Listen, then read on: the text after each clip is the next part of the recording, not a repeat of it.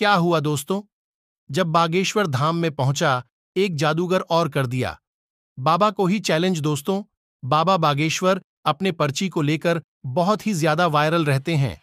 कुछ दिन पहले की बात है, बागेश्वर धाम में एक मुस्लिम जादूगर पहुँचा और अजीब अजीब से खेल दिखाने लगा और कहने लगा कि देख लो, मैं भी बाबा बा, बागेश्वर की तरह और उनसे भी ज़्यादा शक्तियाँ रखता हूँ। और इसका प्रूफ भी मैं दिखा सकता हूँ और उसने वहाँ पर अपनी सामग्री फैलाई और जब कहा कि एक लड़का आगे आ जाओ या फिर कोई लड़की तो उनमें से एक अभिलाष नाम का लड़का आगे आया और फिर उसे जादूगर ने उसे लड़के को देखते ही देखते कबूतर बना दिया। यह तमाशा बहुत देर तक गढ़ा, गाँव में चला रहा, जो कि बागेश्वर धाम से लगभग एक किलोमीटर दूर है और फिर उसे मुस्लिम तांत्रिक ने सोचा, क्यों ना ज़्यादा पैसे कमाने के लिए बागेश्वर धाम में ही अपनी कला का प्रदर्शन करूँ?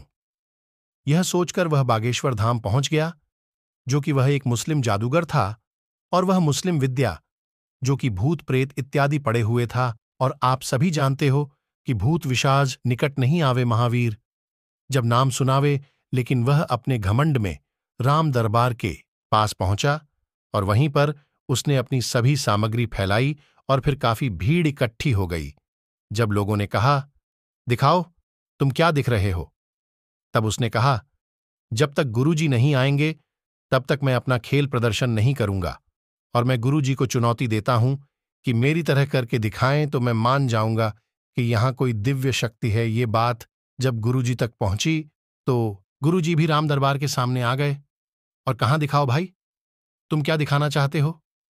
तब उसने घमंड बस कहा, आप ही के साथ में खेल प्रारंभ करूँगा।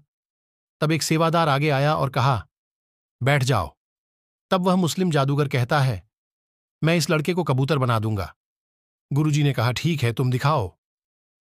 पर उसने अपनी पूरी जान लगा दी और पूरी विद्या लगा दी, लेकिन वहाँ पर उसकी विद्या किसी काम की नहीं रही और ना ही वह लड़का कबूतर बना।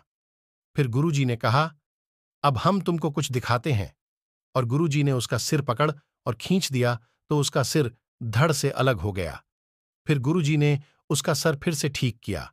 वह जादूगर गुरुजी के चरणों में गिर गया और कहा, मेरी विद्या, यहाँ पर काम क्यों नहीं कि मुझे यह बताओ? गुरुदेव, तब बाबा, बागेश्वर। बोले, तुमको शायद पता नहीं, यहाँ पर सभी देवों के देव और सर्वशक्तिमान कलयुग के राजा हनुमान जी विराजमान हैं और उनके सामने कोई भी बुरी शक्ति नहीं ठहर सकती। ये बात तुम कैसे भूल गए? इसलिए तुम्हारी विद्या किसी काम की नहीं रही। बागेश्वर में फिर उसने भी सनातन धर्म कबूल कर लिया। ये है बागेश्वर धाम का चमत्कार। वीडियो पसंद आई हो तो एक लाइक ज़रूर करें।